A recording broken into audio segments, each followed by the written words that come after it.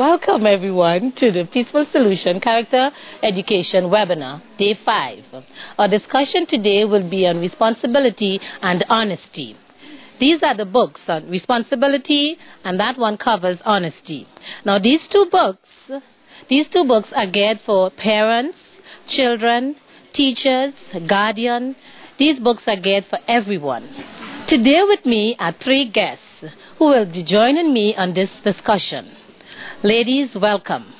Please introduce yourselves. Hi, my name is Mary, and I currently work in retail. I've been working in retail for about 10 years or so. Hello, my name is Ann, and I've been working in banking for 42 years. And I'm um, really pleased to be talking about the Peaceful Solution today. Hi, my name is Kathy. I work at a full service hotel here locally, and I've been in the hospitality business for about 20 years.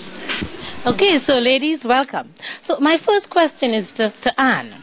Anne, how do you apply the concept of responsibility and honesty to your job?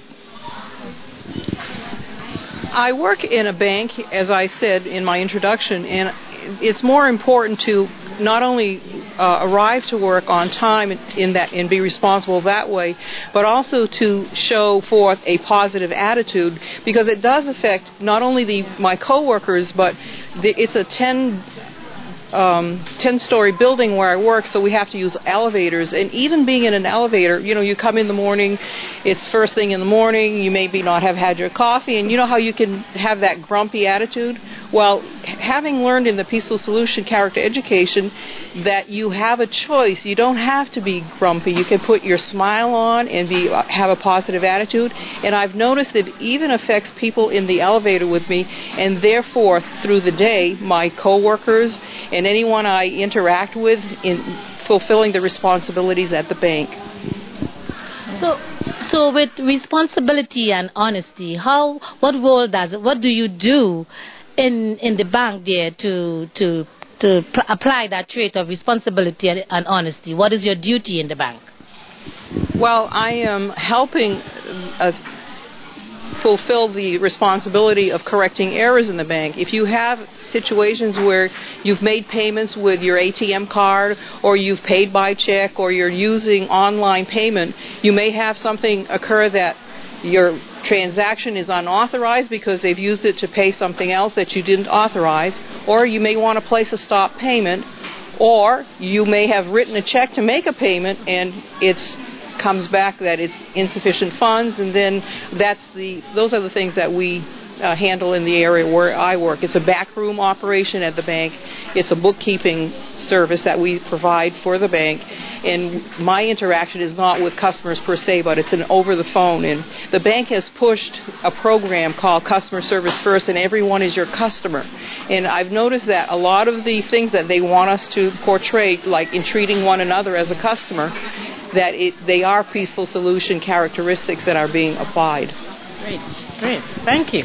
Okay, so Mary, my question, my next question is to you. How long have you been practicing the peaceful solution? I've been practicing the peaceful solution now for about 10 years. I was introduced to it in 2000, well, yeah, 2001, and you know, I, I, I find when I first was introduced to it, I found how effective it was and how easy it was to apply, even though I've learned since then that it does take a lot of determination and a lot of self control to actually allow it to change your think you know like my thoughts and my thinking and to take on those those qualities and characteristics that I such as responsibility and honesty that we've learned about today. So, how do you apply the traits of responsibility and honesty to your job as an employee? Well, as an employee, one of the things that I found that works really well, and that I, uh, being in retail or really in any kind of job like that, most people when they get hired, they, you know, they they go search for a job so that they can get a paycheck. Obviously, that's what we need, and and you know, to pay their bills. And I found that really when you're working for a company, you're getting hired to uphold their standards and their rules. And it's important in the responsibility aspect to uphold those standards and rules that that they stand for so that you can be supportive to your manager, to your supervisor, and you know, like maintain that flow and in turn you're the one that benefits in the end. You, you're known for a respectful person and you can be relied upon and depended upon. Excellent. Great. And that's a great point that she said because at the hotel, a lot of times if one of our desk clerks will quote something and we say, no, that's not our policy, well, your desk clerk quoted that and, and that all of a sudden becomes your policy because it's a representation. They says, well, you're representative. So that is really a great point as far as responsibility goes. It is, yeah. Great. So, Kathy, back to you. So that, what does it truly mean to be a responsible person to you? What does it truly mean? I used to think of myself as a responsible person until I read about the peaceful solution and what they had to say about being a responsible person. And it's so much more than just getting things done when you're told to get them done.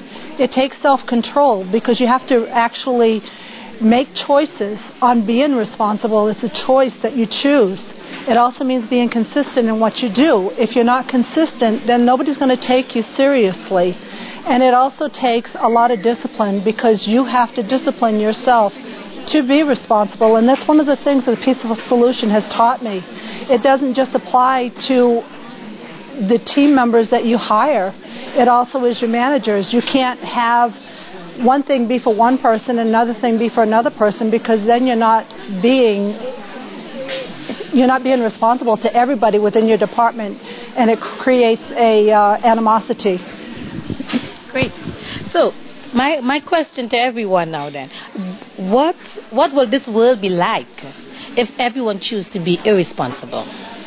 What do you think this world will be like? Any, anyone can answer this one.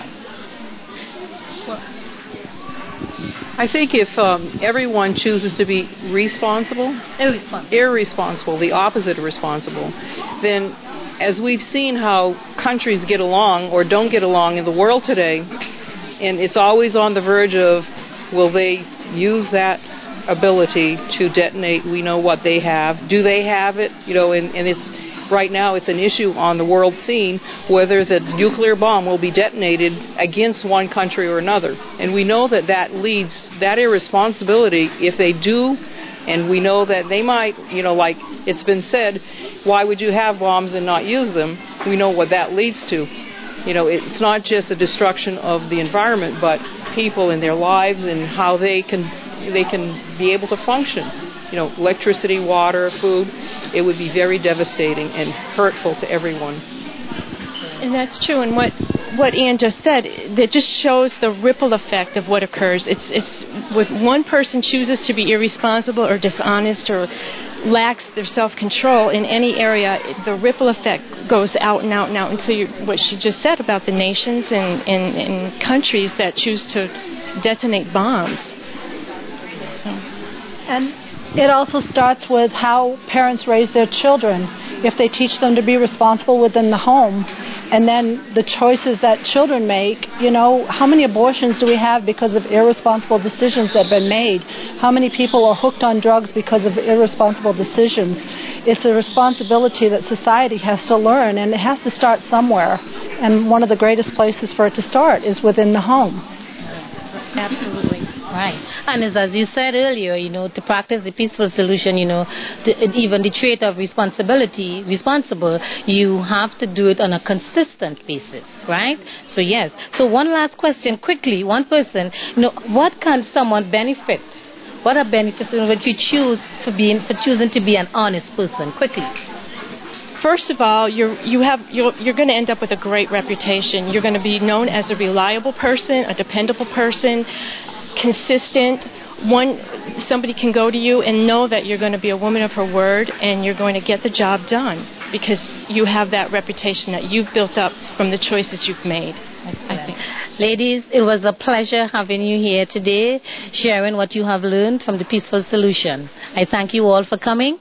And I thank you all for viewing and join us next time for another discussion on the Peaceful Solution.